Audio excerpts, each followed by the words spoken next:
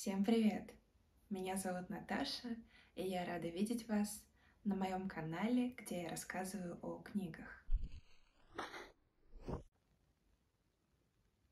И сегодня я решила собрать для вас такую вот э, своеобразную подборку. А какую подборку я могу для вас собрать? Ну, естественно, детективов. И сегодня я немножечко решила устраивать происходящее, начиная от самого, скажем так, а, лайтового детектива и по восходящей, приходя к самому большому трэшу.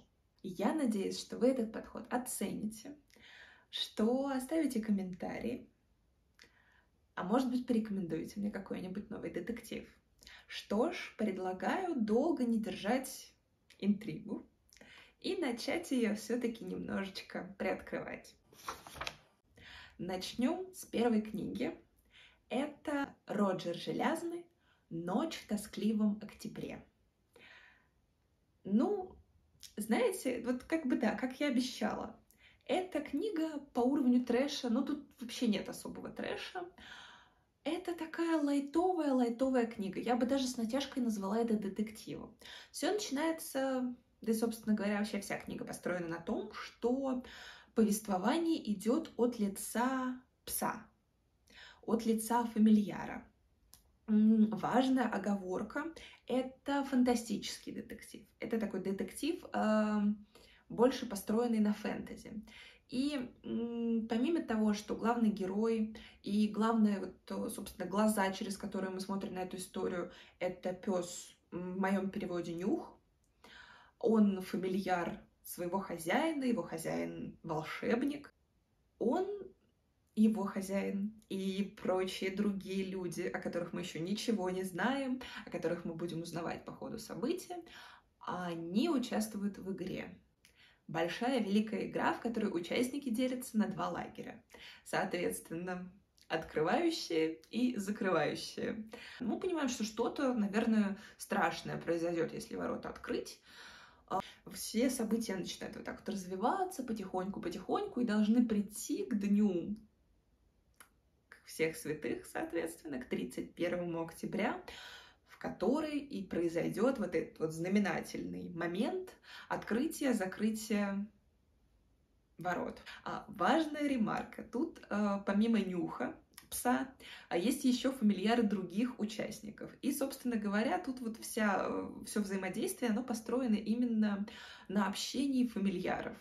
А тут есть и кошка, тут есть и уж, и сова, и ворона. Тут кого только нет, и они все разные, у них у всех разные характеры, они все, кто-то по доброй воле, кто-то не по доброй воле поддерживают своих хозяев и всячески стараются как-то содействовать тому, чтобы их хозяева пришли к успеху.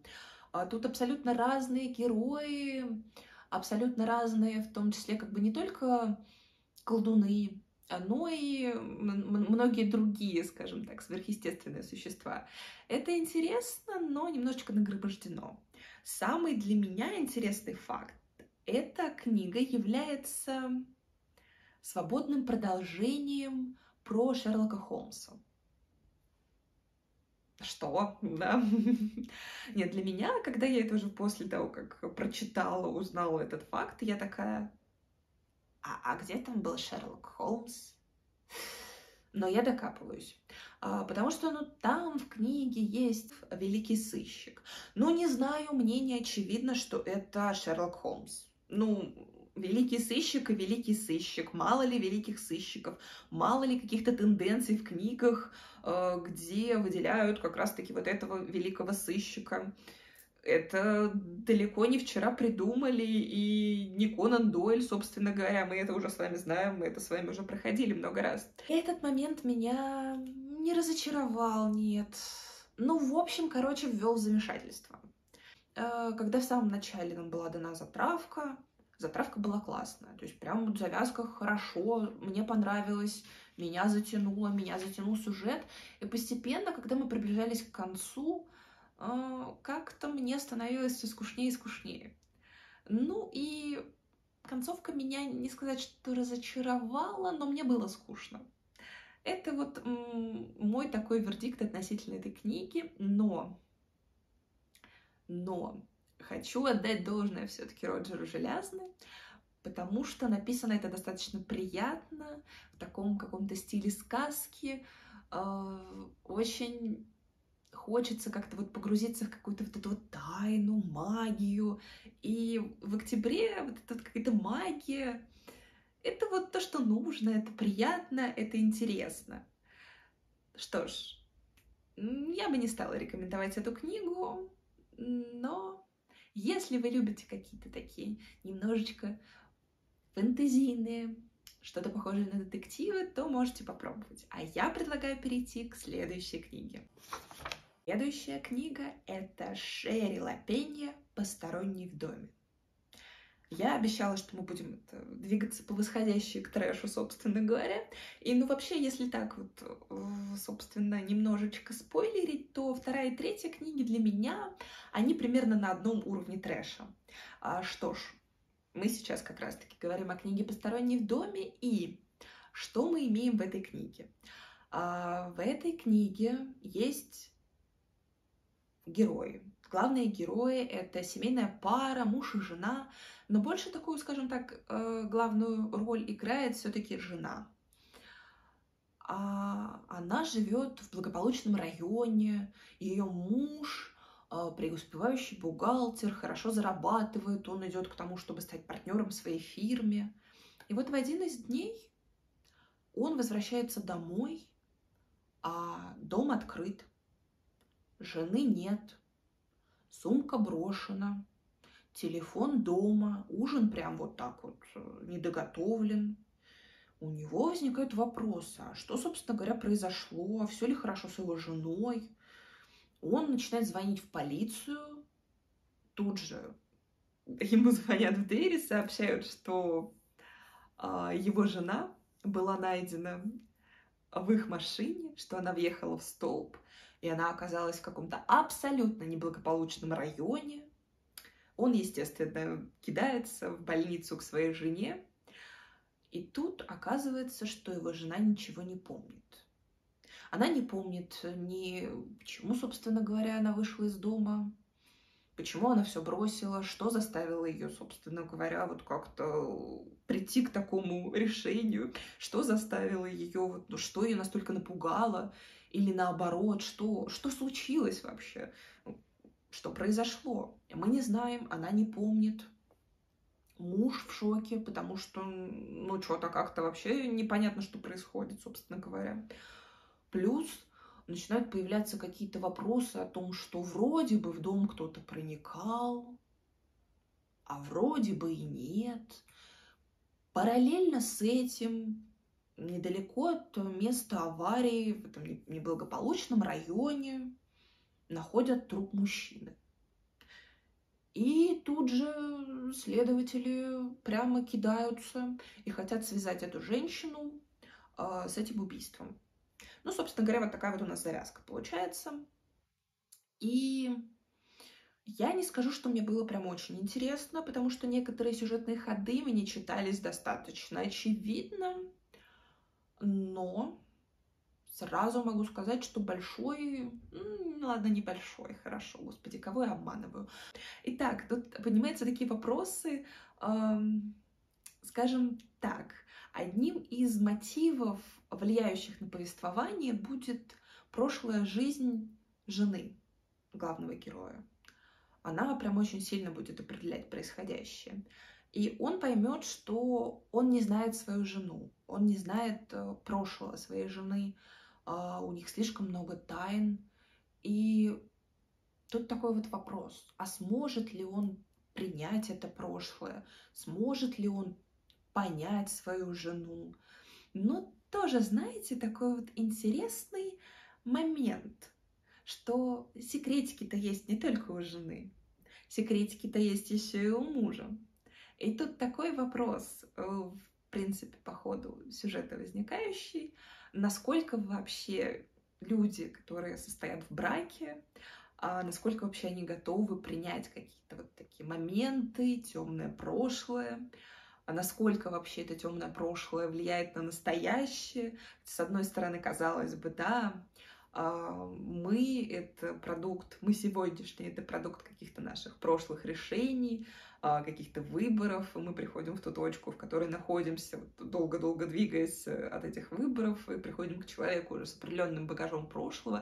То есть мы не можем прийти э, к человеку ну, можем, случаи бывают разные, ладно. Но в целом, как бы получается, что когда два взрослых человека, а, которым не 15, не 17 и не 20 лет встречаются, у них есть за плечами какая-то история.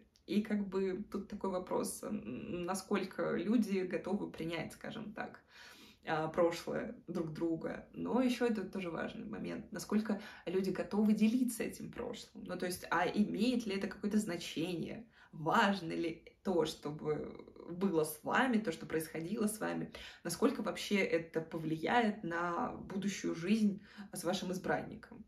Может быть, это никак не повлияет. Может быть, не стоит об этом рассказывать. Тут такой вот интересный, в общем-то, собственно говоря, такая вот э, моральная дилемма, скажем так. И что касается, в принципе, этого детектива, я не назову его плохим, я не назову его гениальным, но он достаточно такой, он имеет место быть. И я не зря его, собственно говоря, выбрала в эту подборку. И на данном этапе я предлагаю перейти к третьей книге. А третья книга — это Гийом Мюссо «Девушка из Бруклина». А тут у нас совсем такая немножечко другая история. А тут у нас вообще абсолютно другой язык повествования. Тут у нас такой романтичный детектив. Он такой, ну, Гийом Мюссо, знаете, вот он романтик. Вот это единственное, что я вам могу сказать. Гийом Мюссо романтик. И что ж, собственно говоря, девушка из Бруклина. Что нам с вами приносит? у нас имеется один успешный писатель. Но это лирическое отступление, не сильно сейчас влияющее на завязку. А, имеется возлюбленная этого известного писателя, и э, он делает ей предложение, он, собственно говоря, понимает, что это та самая женщина, с которой он готов разделить свою жизнь, свое прошлое, а у него, ну, то есть, как бы тоже такая вот небольшая ремарка, у него есть от предыдущих отношений маленький ребенок, которого он воспитывает, не его э, бывшая женщина, а он сам воспитывает своего сына. И получается, что он готов разделить вот эту чудесную свою жизнь с сыном, а, со своей возлюбленной. Но случается такой момент, что она рассказывает ему о своем прошлом. И поначалу он очень сильно шокирован этим прошлым. Они ругаются. Она уходит из дома, она уезжает, и он проходит время, он понимает, что он готов, собственно говоря, поговорить с ней об этом прошлом, он готов услышать ее точку зрения, что он зря поначалу очень бурно отреагировал, он готов с ней поговорить. И тут оказывается, что женщина-то его пропала. Ну, естественно, он, будучи успешным писателем, чего бы вы думали, естественно, детективов, он уже, имея богатый опыт прекрасных друзей, которые ему помогали писать эти детективы, он такой решает, ща я все решу, я поеду свою женщину найду, и если уж мне нужно разобраться в ее прошлом, я разберусь. Вот, собственно говоря, вот такая вот у нас затравка. То есть получается, что у нас имеется две истории, в которых а, мрачные тайны прошлого повлияли на настоящие отношения. Но вернемся к Гийому Мюссо, в принципе, и к повествованию. Писатель у него весьма успешно расследует это дело, он погружается в такие дебри, ой, там такие дебри, слушайте. Нет, с точки зрения какой-то синематографичности, это очень круто. Это прям максимально хорошо, насыщенно, огромным наворотом историй. Но с другой стороны, я вот понимаю, ну вот писатель детективов, без полиции расследует э, исчезновение своей любимой женщины, весьма вот так вот успешно, он такой, ха, пошел, все быстренько порешал, какие-то злодеи откуда-то возникли, он этих злодеев там со своим другом раскидал. Но меня, ну, не скажу, что прям что-то удивило, да, я прекрасно знала, на что я шла, я знала, что Мюсо любитель вот таких вот каких-то историй, я это прекрасно понимала, но немножечко так вот смотрела на это все, и мне не хватало какой-то реалистичности. Да, там чудесное описание чувств, чудесное описание эмоций, чудесное описание чувств и эмоций вообще всех героев. А, прекрасно красной нитью проходит тема детей, тема родительства, тема того, насколько жизнь э, разделяется на до и после а, когда ты становишься родителем, что вот это вот э, новое такое вот какое-то чувство любви, которое абсолютно безусловная любовь к ребенку, ты тоже вот очень замечательно подчеркнут, насколько вот это вот все чувства, насколько они показаны замечательно. Это мне понравилось. Но вот именно какая-то детективная часть этого расследования, она была какой-то, знаете, слишком. Ну, то есть, слишком неправдоподобной, что ли слишком навороченный какой-то, что-то было не то. Но при этом при всем а, все так как-то ладненько, красивенько складывалось, э, что в конечном итоге пришло к определенному выводу, к определенному, скажем так, раскрытию тайн всех, э, что во второй книге про постороннего в доме, что в этой книге все-таки пришли к раскрытию тайн, и герои как раз-таки встали перед выбором. Но вообще, стоит ли принять, собственно говоря, а, прошлую жизнь человека, насколько вообще они способны принять прошлую жизнь человека, насколько они способны с этим жить. И знаете, а, мне понравилось э, в этих двух книгах, если их вот так вот сравнивать, то, что, по сути, здесь даны а, немного разные позиции. И я понимаю, что каждая из этих позиций имеет место быть. Я понимаю, что вот э, даже если бы вот так вот я столкнулась с какой-то такой ситуацией, э, в которой мне бы пришлось вообще э, понять, способна ли я принять какое-то прошлое э, своего возлюбленного или не способна, я подумала, что, наверное, я была бы способна принять. Но тут вопрос, знаете, в чем? Вопрос в том, э, соврали ли мне изначально. Я поняла, что если бы мне изначально мой возлюбленный соврал относительно чего-то в своем прошлом, ну, то есть не сел бы и не сказал, ну вот слушай, было вот так, вот так и вот так, ну, ты как бы как с этим? Ок, не ок. Я бы сказала, ну, мне нужно время подумать, я бы это как-то попыталась принять. И, ну, не знаю, приняла бы или не приняла, зависит от информации, скажем так. А... Единственное, действительно, чего я бы не смогла простить, это лжи я бы не смогла простить того факта, что мне солгали. Вообще ни под каким соусом, то есть как бы, ну, если вы мне рассказываете, вы, если мне как бы мой возлюбленный рассказывает там по фактам что-то, что с ним произошло, я способна это понять, я способна принять происходящее, я не буду обесценивать его эмоции, чувства, я понимаю, что у нас у всех э, совершенно разный эмоциональный порог, а порог восприятия различных э, событий в жизни и прочего, и прочего, что а, у нас разные события бывают в жизни. Но единственное, действительно, чего я бы не смогла простить, это лжи. Это того, что мне бы изначально солгали, вот это вот я бы не смогла простить. Я понимаю это совершенно, но тут тоже, понимаете, тут каждая история, она индивидуальна, тут нужно рассматривать каждый случай. Таким вот образом я умудрилась э, от детективов прийти к какой-то чувственной стороне всего. Но это не я, это Гийом Мюсо меня на такой надоумил. И вот как бы мы вот так вот постепенно от легкой приятной сказочки глазами фамильяров э, перешли к отношениям, а теперь от отношений мы перейдем к четвертой книге. Четвертая книга у нас это Андреас Грубер «Сказка о смерти». И как я обещала, мы по восходящей вот этой вот лесенке трэша а, пришли наконец-то к апогею трэша, а, к апогею того трэша, который мне пришлось прочитать э, в октябре. А, первый факт об этой книге — это то, что книга является частью серии про профайлера Мартина С. Снейдера.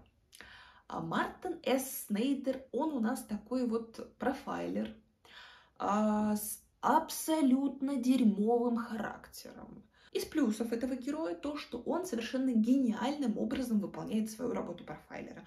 Он преподает в университете, кошмарит своих студентов до ужаса, но гениально выполняет свою работу. Он своим студентам дает а, дела, которые не закрыты. Ну, то есть он прям по незакрытым делам, не по каким-то вымышленным делам, а по незакрытым делам слушает их мнение, там, о мотивации убийцы и прочее, прочее. И это не первая книга об этом герое.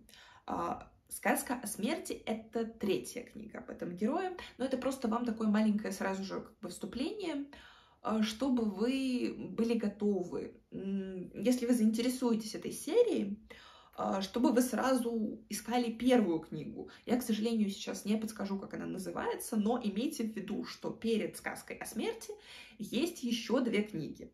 А, и после сказки о смерти тоже есть еще две книги, которые я, возможно, со временем почитаю. Если попадутся, да, но специально их искать я не буду. Итак, что мы, собственно говоря, имеем?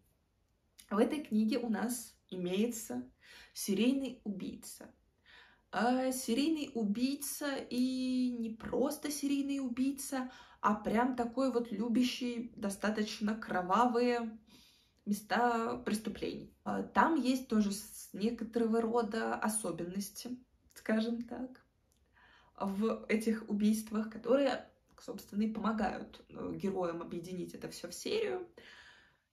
И что я могу сказать? Первые страниц 150 я плохо понимала, что происходит, потому что, а, ну так вот, шло комкано повествование, нам постепенно, по чуть-чуть приоткрывали какие-то две параллельные линии сюжетные, а, и поначалу было сложно вообще понять, каким образом они пересекаются. Ты вроде бы читаешь о каких-то двух параллельно происходящих вещах, которые, как тебе кажется, вообще никак не связаны. Но потом я начала понимать, куда все идет и во что все это выльется. И в какой-то момент, а нам так вот постепенно, по чуть-чуть, вот как э, луковицу раздеваем, приоткрывают сюжет, приоткрывают детали, сплетения. Я такие вещи очень сильно люблю. Я люблю, когда вот э, детали как-то так вот плавно, постепенно сплетаются, и тебя вот в эту вот сеть истории и сюжета постепенно затягивают, и ты уже в какой-то момент понимаешь, что без разгадки и без какого-то логического завершения этого сюжета ты отсюда уйти уже никак не можешь. Все, тебя подцепили на крючок интриги. И вот где-то к середине книги я поняла, что меня надежно подцепили на крючок интриги. И вот тут мне уже начало нравиться. То есть то, что происходило до этого, мне тяжело давалось, потому что тут еще э, за счет того, что две параллельные истории. Тут еще идет очень такое жесткое нагромождение деталей, сюжетов. Но в какой-то момент, а, когда ты начинаешь понимать вообще, зачем все это сделано, я была приятно шокирована. Мне понравилось это нагромождение деталей, как это все друг в друга слилось. Я поняла, что эти детали были нужны а, для того, чтобы правильно понять, скажем так, мотивацию преступника. В какой-то момент у меня был вопрос вообще относительно того, а почему книга так называется. Но потом мне и на этот вопрос ответили. Сначала, вернее, у меня появилась моя теория. Я как бы эту теорию, скажем так, а, начала ставить на сюжет. Она красиво ставилась, но потом автор еще более изящным образом ответил на этот вопрос. А я люблю, знаете, когда не просто вот э, название с потолка взято, а когда оно как-то обыгрывается в сюжете. Вот я очень люблю такие вещи, когда а, каждая деталь, каждая брошенная какая-то фраза, что-то еще, какие-то детали, моменты нераскрытых тайн, потом вот выстреливает это ружье. Я люблю такие вещи. Немецко-голландский детектив, вот этот вот, он такой вот мрачный, тяжелый и основательный. И в целом э, для меня этот детектив прям помимо того, что вот по обилию, скажем так, мрачных деталей, подробностей каких-то в преступлении и вообще по какому-то трэшу, происходящему в сюжете, он стоит на вершине октября, то есть прям вот весь трэш, который происходил в детективах, он происходил больше всего именно в сказке о смерти. У меня получились такие максимально разные детективы в октябре, и этим октябрь для меня и стал как раз-таки интереснее. Я стараюсь а, не додумывать а, за авторов книг. Я стараюсь просто воспринимать то, что происходит. А, я надеюсь, что это видео вам понравилось. Подписывайтесь на мой канал, ставьте колокольчики, ставьте лайки, пересылайте это видео тем, кто любит детективы или тем, кто любит читать книги. Напоминаю вам, что все вот эти книги я брала в библиотеке. А видео про библиотеку, так как это два разных похода в библиотеку, я оставлю ссылки на видео про библиотеку под этим видео, собственно говоря. Подписывайтесь на мой телеграм-канал. А я стараюсь писать в нем отзывы, а стараюсь писать там побольше интересного. Что ж, огромное спасибо вам за то, что были со мной все это видео. Я надеюсь, что мои будущие видео вас не разочаруют. Пока-пока.